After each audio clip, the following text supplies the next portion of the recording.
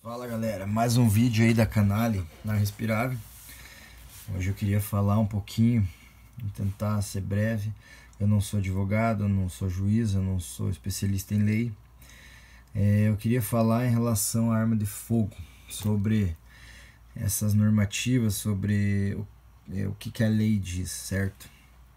Então existem algumas contradições nessa porcaria desse Estatuto do Desarmamento que foi inventado aí é, mesmo sem o consentimento do povo, né? que não foi respeitado.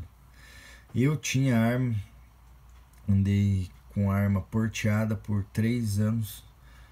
É, a partir dos 21 anos eu já tive por três oportunidades, três anos o porte. E não era todo esse caos que as pessoas falam. Hoje o mundo está muito pior. E tem muita pessoa que nem era nascida nessa época e palpiteia demais em relação a porte, querem ser donos da verdade, não sabem nem o que estão falando. Enfim, vamos lá. É, essa aqui é a cartilha do armamento. Cartilha do armamento de tiro. Isso aqui se baixa na Polícia Federal quando você vai fazer a tua prova para adquirir, para aquisição de uma arma de fogo, não para porte. Então tá aqui. Vai apresentar, foi elaborada, blá blá blá blá blá. Arma de fogo, conceito, classificação, o que, que é uma arma curta, o que, que é uma arma longa. Então aqui são nomenclaturas, o que, que é uma submetralhadora, o que, que é uma metralhadora. Isso aqui, se quer ter conhecimento, você vai lá e baixa lá na Polícia Federal. O que, que é? Arma de repetição, semiautomática, automática, ação simples, alma lisa, raiada. Isso aqui cai na prova. Então você faz uma prova na Polícia Federal, as pessoas acham que é assim. Isso aqui sempre pode. Isso aqui é a partir do Estatuto do Desarmamento arma de uso restrito, é, o calibre, é, tamanho de comprimento de cano, tudo isso aqui é explicado, certo? Calibre, o que é calibre nominal, o que é calibre real, munição, espoleta, como que é a munição, projétil, tudo isso aqui você estuda para a prova, certo? Você vai comprar um revólver, você tem que saber tudo isso aqui para você ser aprovado. Então você não é uma pessoa leiga comprando uma arma. Você vai saber aqui ó, o que, que é cada parte de uma arma de fogo. Uma espingarda, você vai ter que saber a parte da espingarda, o que, que é cada parte. Você poder fazer a prova escrita, além da prova que você vai fazer para é, de proficiência. Você vai atirar e vai passar por psicólogo. Então não é uma coisa tão simples assim além de toda a documentação totalmente burocrática, que você se não jogar na mão do despachante, você está lascado. Enfim, tá lá, normas de segurança. Somente aponte tua arma carregada não para onde pretenda tirar. É, a arma nunca deverá ser apontada, tal, tal, tal. Trata a arma de fogo como sempre tivesse carregada ao sacar, tal, tal, tal. Então, essas aqui são normas é, de segurança normais.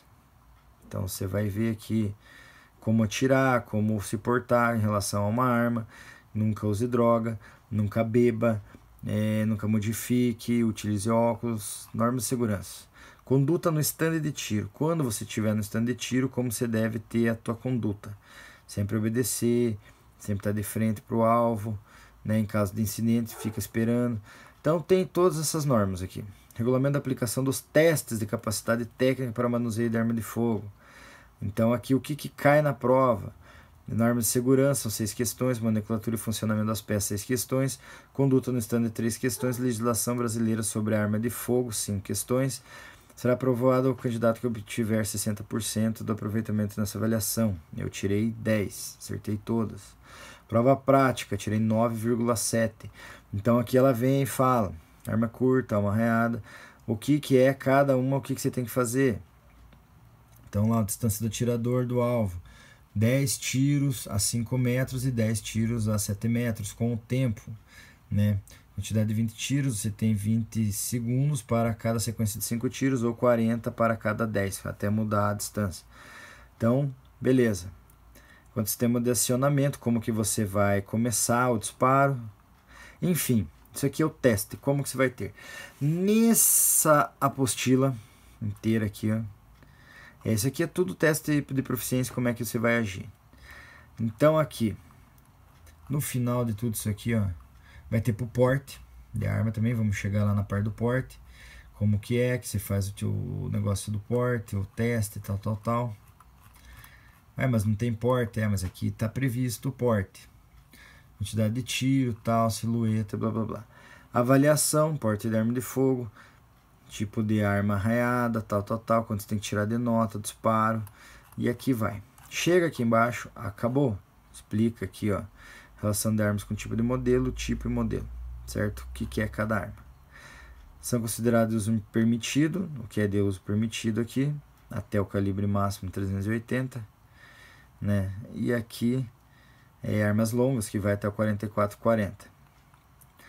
Então aqui é a questão de polegada no calibre 12, que é o que difere dela ser permitida ou não. Armas de pressão até 6 milímetros, uso permitido. As armas de pressão, as PCPs, as carabinas de mola, elas são liberadas o porte e liberado a aquisição.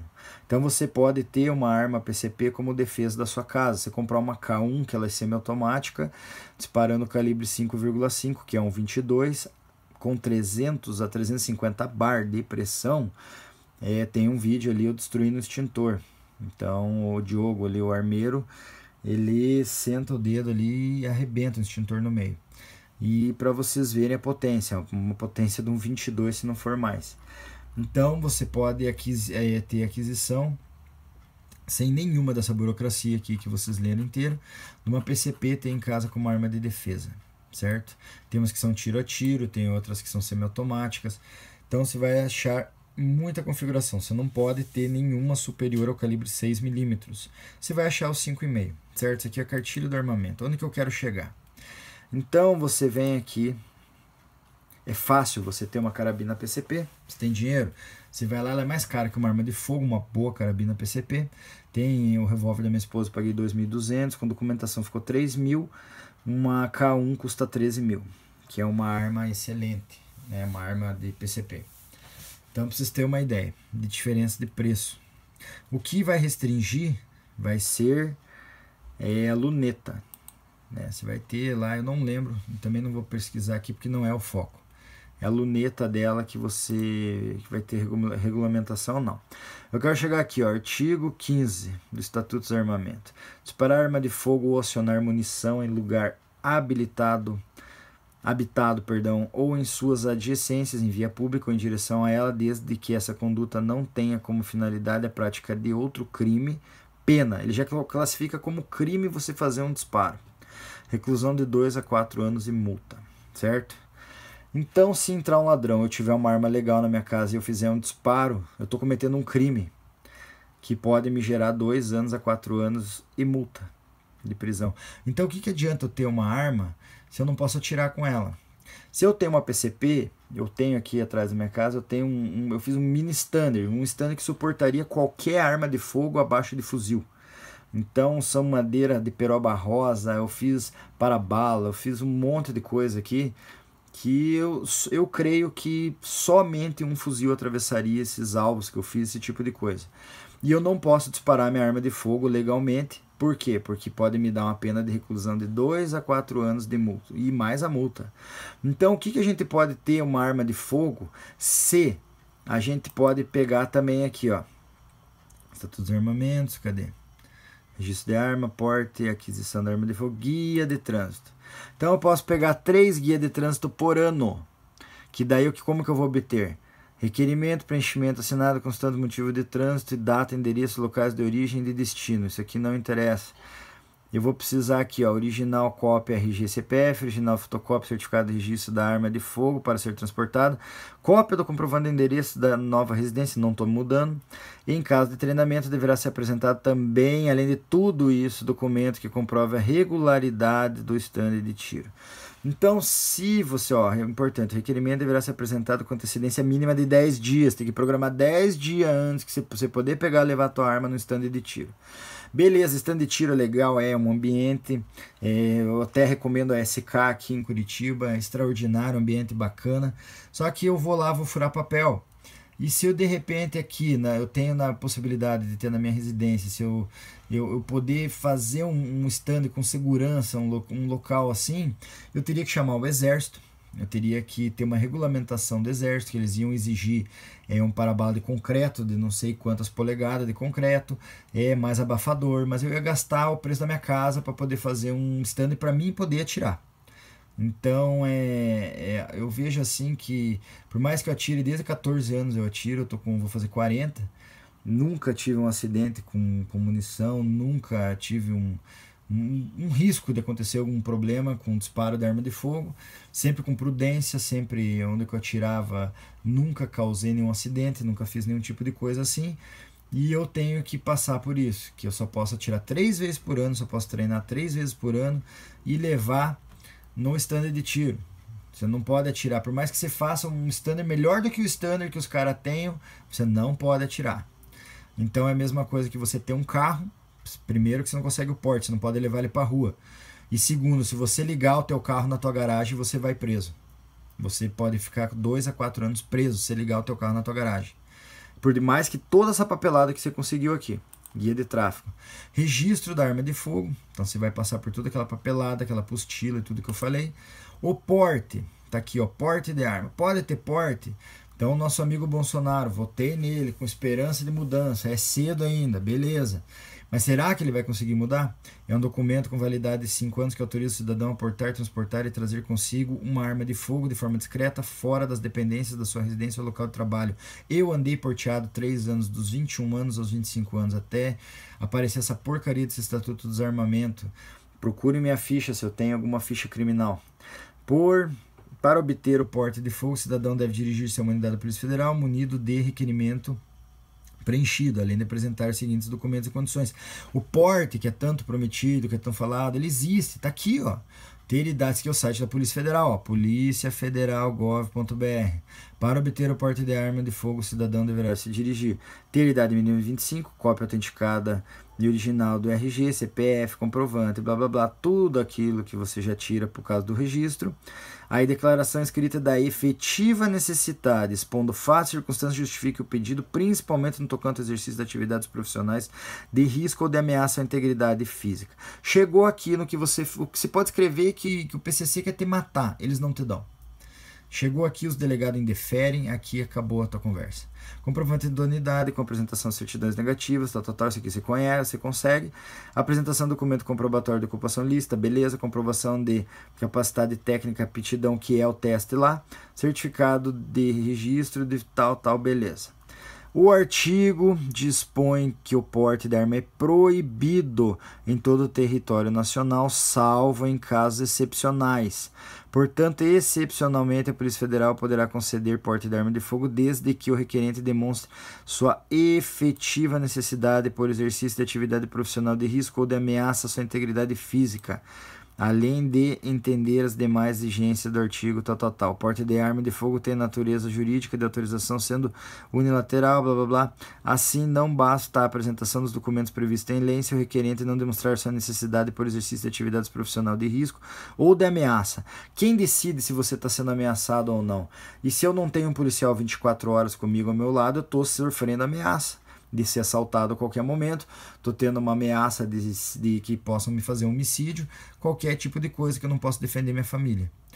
A comprovante de capacidade de técnica, tudo bem, que você faz lá, psicólogo. A taxa de expedição, autorização do porte de arma de fogo perderá automaticamente sua eficácia caso o portador dele seja detido, abordagem em estado de embriaguez. Isso aqui eu sou totalmente a favor. Se o cara estiver drogado, bêbado, nunca mais pode pegar numa arma. O título porte de arma para defesa pessoal não pode conduzi-los ostentativamente, entrar em baixo, como era antes. Isso aqui, o porte, eu tenho três portes guardados. Estava escrito isso aqui, que você não pode entrar no meio do povo com isso aqui. O porte de arma é pessoal, intransferível, revogável, tal, tal, tal, tal, tal. Então, por que, que a gente não tem o, arma, o porte? Por que, que não existe? Já está aqui, está previsto. É só você provar. E eu já falei a prova aqui, sem ser advogado, sem nada. Por que esse excepcionalmente aqui, ó, que a Polícia Federal poderá conceder?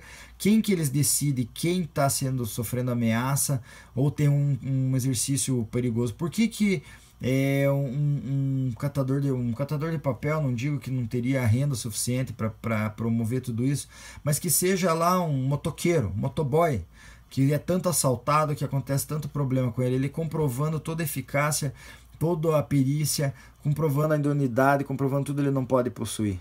Por que, que ele não está em risco se as motos são tão roubadas, se eles morrem tanto? Tantas pessoas, eu não sou motoboy, então, é tanta pessoa assim é, leva tiro para ser roubada a moto, o cara não pode. É, isso aí não, não tá em risco. não é risco que ele está passando, não é uma forte ameaça.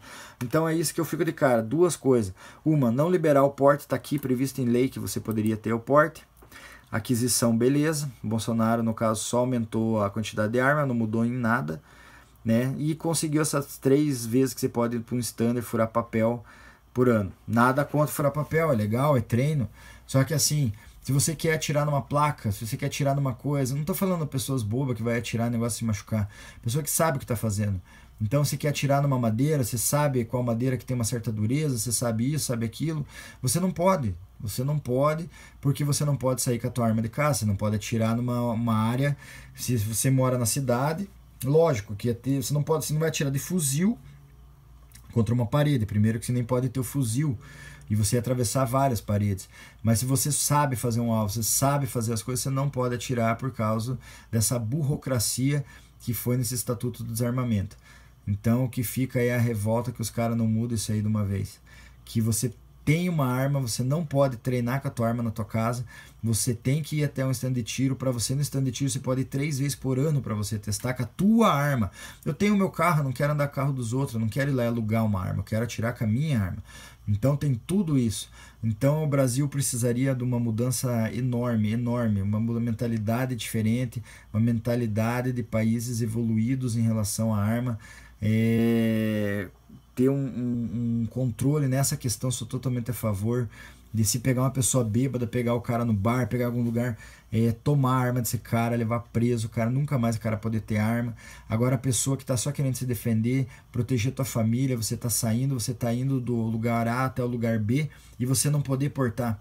Então nessa guia de tráfego que você tem direito a tirar três vezes por ano, é, num stand de tiro, você tem que levar a arma desmuniciada, guardada numa caixa, tudo longe. Então, se você precisar usar de ponto de emprego, não, não pode usar. Então, esse estatuto de desarmamento foi um estatuto que, que virou para o mal, virou para o bandido e o cidadão de bem só se lascou.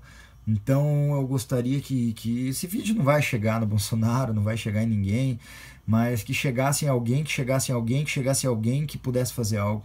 Que alguém acordasse e, porra, vamos mudar essa porra de uma vez, chega e os legisladores né, que pudessem acordar, parar de defender bandido, defender a população de bem, dar direito a gente poder praticar as coisas. O, o, mais ideal seria a gente poder ter um porte de arma e várias armas, essas quatro armas, ter apenas um porte, você pegar a arma que você achar adequada para sair. Se você tem quatro carros, você precisa ter quatro carteiras de motorista? Você precisa ficar renovando o registro do teu carro? Então é esse país aqui, infelizmente, é um fiasco. É lamentável isso aí.